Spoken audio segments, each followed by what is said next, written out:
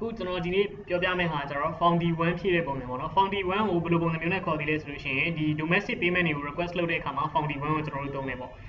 အဲ့ဒါဆိုရင်ဒီ Foundy 1မှာစပြီးမြင်ရမှာဒီပါလဲဆိုရင် date date ဆိုတဲ့နေရာမှာ date ကတော့ကျွန်တော်တို့ဘယ်တော့မှဖြည့်စီရမလို့ဘာလို့လဲဆိုတော့ system ကသူ့အတူ auto catch up လုပ်သွားမှာဖြစ်တဲ့အတွက်ကြောင့်မလို့ reference number အနေနဲ့က D00EXD ဆိုပြီးတော့ပေါ်နေတယ်အဲ့ဒီနေရာမှာကျွန်တော်ဘာမှ touch လုပ်စီရမလို့ကျွန်တော်တို့အဓိကလုပ်ရမယ့်နေရာကကျတော့ reference number ကိုပဲကျွန်တော်တို့ဖြည့်ပေးရမယ် reference number ကိုကျွန်တော်007လို့ကျွန်တော်ဖြည့်လိုက်တယ် okay ပြီးတော့လို့ရှိရင်နောက်တစ်ခုက group အနေနဲ့ကျွန်တော်တို့ဘယ် group ကိုရွေးမလဲဥပမာဆိုရင်ကိုက CFO ဆို CFO ကိုရွေးပေါ့ပြီးတော့လို့ရှိရင်နောက်တစ်ခုက division division အနေနဲ့ကျွန်တော် finance 2ကဖြစ်တဲ့အတွက်ကြောင့်မို့ finance 2ကိုကျွန်တော်ရွေးတယ်ပြီးတော့ရင် name initiator name initiator name မှာကျွန်တော် main သူလို့ဖြည့်လိုက်တယ်ဘာလို့ဆိုတော့ကျွန်တော်ကိုယ်တိုင် initiator ဖြစ်နေတဲ့အတွက်ကြောင့်မို့ကျွန်တော်နာမည်ကိုကျွန်တော်ဖြည့်လိုက်တဲ့သဘောပဲ okay ပြီးတော့လို့ရှိရင်နောက်တစ်ခုကကြာ contracting party contracting party ကိုကျွန်တော်ရွေးမယ်ဆိုလို့ရှိရင် MBD လား KSGN လားပေါ့ law တွေက KSGN ဖြစ်တဲ့အတွက်ကြောင့်မို့ကျွန်တော် KSGN ကိုရွေးတယ်ပြီးတော့ရင် JO OPES လား CAPES လားဆိုတဲ့ဟာကိုကျွန်တော်ရွေးမယ် okay ပြီးတော့လို့ရှိရင်နောက်တစ်ခုကကျတော့သူနဲ့ attachment reference အနေနဲ့ပါလာမယ့်ဟာ form A ပေါ့ form A ရဲ့ number ကိုထည့်မယ်အဲ့ဒါဆိုရင်ကျွန်တော် form A ရဲ့ number ကို D04 EXA 004လို့ထားလိုက်ပါစို့ Okay အဲ့ဒါဆိုလို့ရှိရင်ကျွန်တော်ဒီ reference number အနေနဲ့ form ရဲ့ reference number ကိုကျွန်တော်ထည့်ပြီးသွားပြီပြီးတော့လို့ရှိရင်ကျွန်တော် invoice number ကိုထည့်မယ် invoice number က13556ပဲထားလိုက်ပါတော့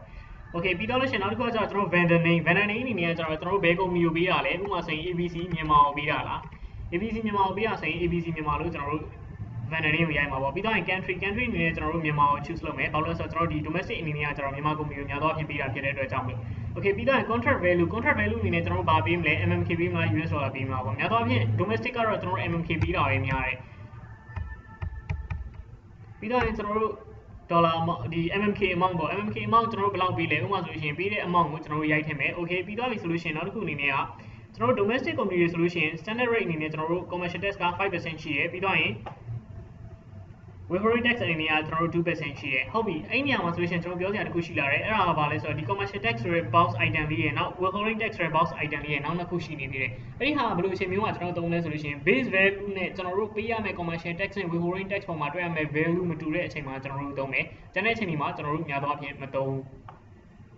Okay နောက်တစ်ခုကကျတော့ကျွန်တော် description ပေါ့နော် description အနေနဲ့ကျွန်တော်တို့ဘာပြီးမှန်းလဲဥပမာဆိုရင်ထားပါတော့ကျွန်တော်တို့ marketing cost အတွက်ပြီးမှန်းလား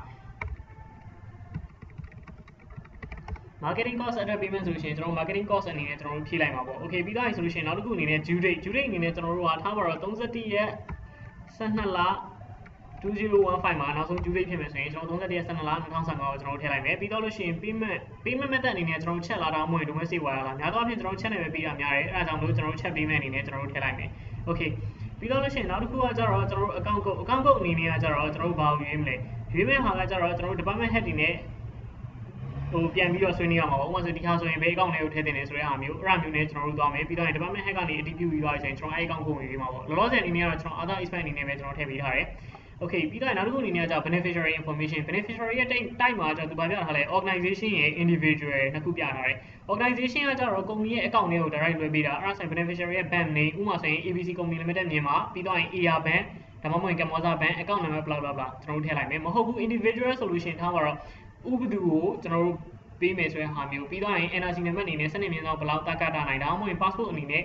လောက်ဆိုတဲ့ဟာမျိုးကိုကျွန်တော်တို့ mention လုပ်ပေးမယ် okay အဲ့ဒီဟာတွေအကုန်လုံးကိုကျွန်တော်တို့ကဖြည့်ပြီးသွားပြီထားလိုက်ပါတော့ကျွန်တော်တို့ organization ကိုပေးရလို့ပဲ organization ပေးပြီးသွားပြီအဲ့ဒါဆိုလို့ရှိရင်နံပါတ်စနစ်အနေနဲ့ကျွန်တော်ဘာထပ်ပြီးဖြည့်ရမလဲဆိုလို့ရှိရင် remark ဆိုတဲ့ဟာကိုဖြည့်မယ် remark ဆိုတဲ့ဟာကကျွန်တော်ဥပမာဆိုထားပါတော့ဒီ check ကို finance ကနေယူလာပြီးတော့သူတို့ကိုလာပြီးပြီးပါဆိုတာမျိုးအဲအဲ့လိုဟာမျိုး special request လုပ်ရှင်တဲ့ဟာမျိုးတွေအဲ့လိုမျိုး finance ကို message ပေးခြင်းတဲ့ဟာမျိုးတွေကိုကျွန်တော်တို့ remark ဆိုတဲ့နေရာမှာထည့်မယ်တကယ်လို့ဘာမှမရှိဘူးဆိုရင်ဘာမှပေးစရာမရှိဘူးဆိုရင်ကျွန်တော်တို့ဘာမှမထည့်ဘူး blank အနေနဲ့ထားထားမယ် Okay နောက်တစ်ခုကကျတော့ attachment attachment အနေနဲ့ကျွန်တော် original invoice ကို attach လုပ်ထားလားဒါမှမဟုတ် form ကို attach လုပ်လားဒါမှမဟုတ် contract ကို attach လုပ်ထားလား contract attach လုပ်တယ်ဆိုရင် contract number ကိုကျွန်တော်ဖြည့်မှာပေါ့ other documents အနေနဲ့ကျွန်တော်ဘာတွေလုပ်ထားသေးလဲလုပ်ထားတဲ့ဟာကိုကျွန်တော်တို့ဖြည့်မယ်ဥပမာဆိုရင် invoice တာပါလားညာတာပေါ့ဟုတ်ပြီနော် Okay အဲ့ဒီဟာတွေနဲ့ပတ်သက်ပြီးတော့ detail ဖြည့်တဲ့ဟာကိုကျွန်တော်တို့သိချင်တယ်ဆိုလို့ရှိရင် page 2မှာကျွန်တော်တို့ကြည့်လို့ရတယ်သူ့ရဲ့ workflow ပုံစံရယ်ပြီးတော့လို့ရှိရင်ဘယ်လိုပုံစံမျိုးတွေနဲ့ကျွန်တော်တို့ဖြည့်ပေးရမယ်ဆိုတဲ့ဟာကို detail ပြပေးထားတယ် Okay အားလုံးပြီးသွားပြီကျွန်တော် supporting document အနေနဲ့တိုက်စစ်ပြီးသွားပြီဆိုလို့ရှိရင် save ဆိုတဲ့ button လေးကိုကျွန်တော်တို့သွားပြီးတော့နှိပ်လိုက်မယ်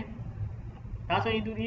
file အနေနဲ့သူကလာပြီးတော့ auto ဒီမှာ system ကနေပြီးတော့ naming ပေးလိုက်ပြီ D04ESD07 ဆိုတဲ့ဟာမျိုး okay အဲ့ဒီဟာကသူ့ရဲ့ reference number နဲ့ကျွန်တော်ရဲ့ reference number နဲ့သွားပြီးတော့တိုက်လိမ့်မယ်ဟုတ်ပြီအားလုံးလည်းမှန်သွားပြီကျွန်တော်အားလုံးတေချာသွားပြီဆိုလို့ရှိရင်ကျွန်တော် save ဆိုတဲ့ button လေးကိုကျွန်တော်နှိပ်လိုက်မယ်အဲ့ဒါဆိုရင် auto save ဖြစ်သွားပြီ found ဖြည့်တာတော့ဒါအကုန်ပါပဲ